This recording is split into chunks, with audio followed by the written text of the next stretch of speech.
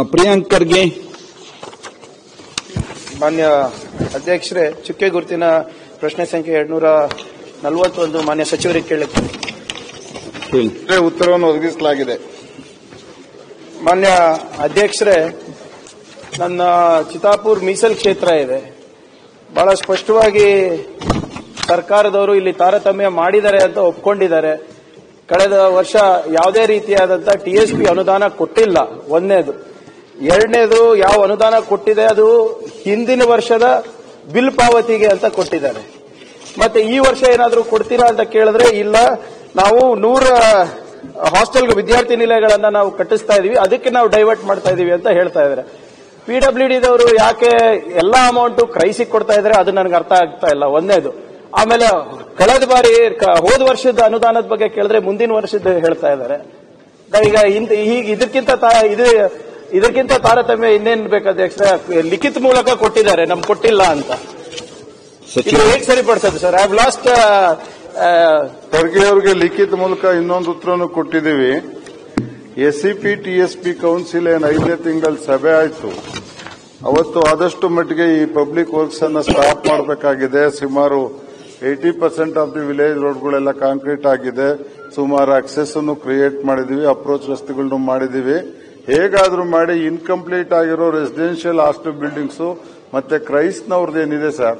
ಆ ಬಿಲ್ಡಿಂಗ್ ಅನ್ನ ಕ್ಲಿಯರ್ ಮಾಡಿಬಿಟ್ಟು ಮಕ್ಕಳಿಗೆ ಎಜುಕೇಶನ್ ಒತ್ತು ಕೊಡಬೇಕು ಅಂತ ಹೇಳಿ ಆ ವರ್ಷದ ಅನುದಾನನ ಈ ಬಿಲ್ಡಿಂಗ್ ಬಳಸಬೇಕು ಅಂತ ಹಂಡ್ರೆಡ್ ಹಾಸ್ಟೆಲ್ಸ್ ಶೆಡ್ಯೂಲ್ ಕಾಸ್ಟ್ದು ಪ್ಲಸ್ ಇಲೆವೆನ್ ಟ್ರೈಬ್ದು ಅದಕ್ಕೆ ಡೈವರ್ಟ್ ಮಾಡಿಕೊಂಡು ಆ ವರ್ಷದ ಕಾರ್ಯಕ್ರಮ ಪೂರ್ಣ ಆ ಕಡೆ ಡೈವರ್ಟ್ ಮಾಡ್ತು. ನಿಮ್ಮೊಬ್ರಿಗೆ ತಾರತಮ್ಯ ಮಾಡಿಲ್ಲ, ನಮಗೂ ಆಗಿದೆ.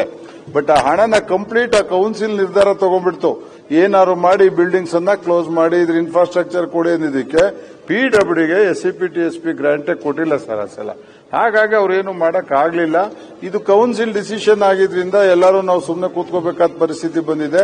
ಆ ಮಕ್ಕಳಿಗೆ ಅನುಕೂಲ ಆಗಲಿ residential hostel building school building ಮತ್ತೆ ಹಾಸ್ಟೆಲ್ ಬಿಲ್ಡಿಂಗ್ಗಳು ಮುಗಿಲಿ ಅಂತ ಡೈವರ್ಟ್ ಮಾಡಿಕೊಂಡಿರೋದು ನಿಜ ಸರ್. ನೀವು ಹಾಸ್ಟೆಲ್ ಬಿಲ್ಡಿಂಗ್ ಕಟ್ತೀರಾ ನಂದೇನು ತಕರಾರಿಲ್ಲ ರಾಜ್ಯ ಪರಿಷತ್ತಲ್ಲಿ ನಾನು ಬಹಳ ಹತ್ತಿರದಿಂದ ನಾನು ನೋಡಿದ್ದೀನಿ. ಆದರೆ ಎಲ್ಲಾನು ಕೂಡ ಅಲ್ಲೇ ಮಾಡೋದು. ಮಾನ್ಯ ಕಾನೂನು ಸಚಿವರು ಸ್ವಲ್ಪ ವೈಜ್ಞಾನಿಕವಾಗಿ ಎಲ್ಲ ಕೆಲಸ ಮಾಡ್ತಾರಂತ ನಾನು ಭಾವಿಸ್ತಾ ಇದ್ದೀನಿ. ನೀವು ನಂಜುಂಡಪ್ಪ ವರದಿ ಪ್ರಕಾರ ಯಾವುದು ಅತ್ಯಂತ ಹಿಂದುಳಿದ ಮತಕ್ಷೇತ್ರಗಳಿವೆ, ಅದನ್ನ ಬಿಟ್ಬಿಟ್ಟು ನೀವು ಬರೀ ಇಲ್ಲಿ ಹಳೆ ಭಾಗದಲ್ಲಿ ಎಲ್ಲ ಕಡೆ ಸಂಪೂರ್ಣವಾಗಿ ಕಾಂಕ್ರೀಟ್ ರಸ್ತೆ ಆಗಿದೆ ಅಂತ ಅನ್ಕೊಳ್ಳೋದು ತಪ್ಪಾಗುತ್ತೆ ಅಧ್ಯಕ್ಷರೇ.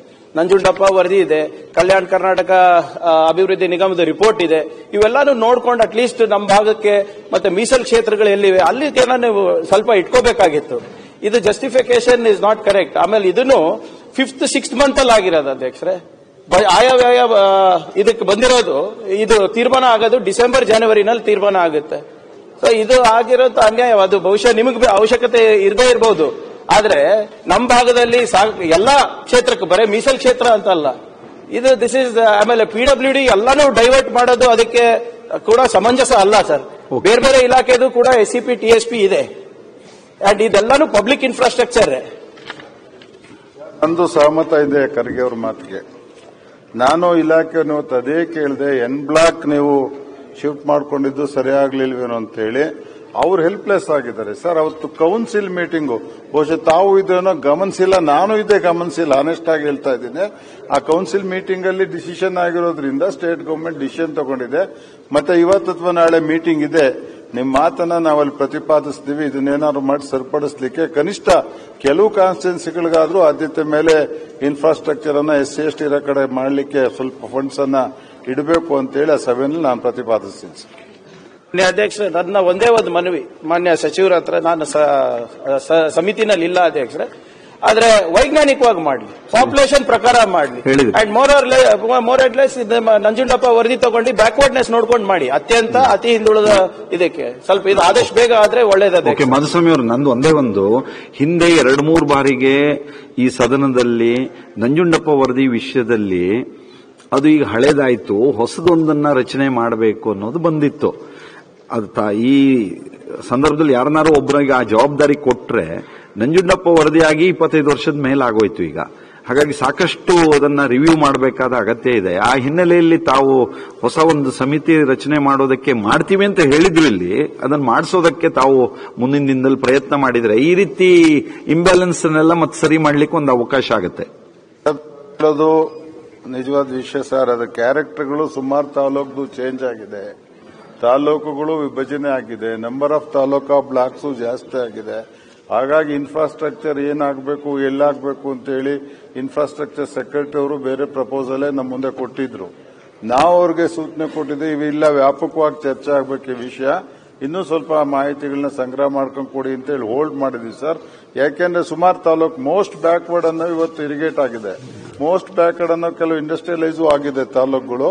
ವಾಸ್ತವವಾಗಿ ಯಾವುದಾಗಿಲ್ಲ ಅನ್ನೋದು ಇನ್ನೊಂದು ರಿವ್ಯೂ ಆಗ್ಬೇಕನ್ನೋದು ನನ್ನ ಅಭಿಪ್ರಾಯನೇ.